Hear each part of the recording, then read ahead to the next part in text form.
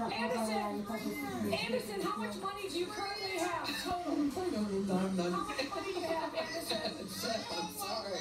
I'm sorry. If only Anderson had answered the questions. Oh, sorry, Seth. He lied on everything.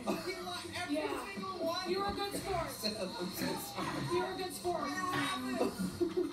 I, it looks better though, Seth. No, no, I think, you know, I apologize. Oh I mean, I really, oh, you know, I just, I thought he'd be honest. I, but he doesn't say his word. He owns up to him. I do too. Oh, Thank sorry. you, Seth. sorry. I appreciate you and I apologize. I appreciate you too. All right. Go back to manning the camera because we have to celebrate. Now, Anderson, do you know what the 10th anniversary is? Uh, ten. Okay.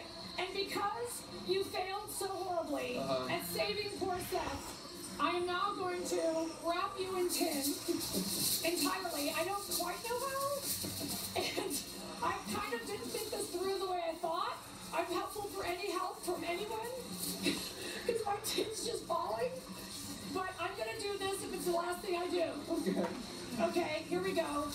There's some, and then it's. Yeah, this is not well fun. This one's not working. This is tough. What? This is one of those things that, like Ryan Seacrest said, we have rehearsals. This would probably work. I swear I tried this in the hotel a million times. It's our 10th anniversary. Uh, we've been together. We've been doing the show for ten years, We've Been together for 10 years. and this was. Good pun. And I'm trying to wrap this around you.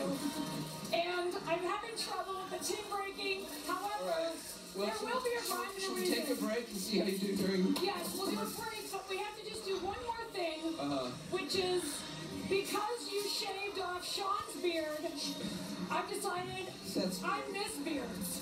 And I would like to do the broadcast. all right. Ladies and gentlemen, Bill Blitzer, We'll be right back from the Situation Room with more. live from the sit room.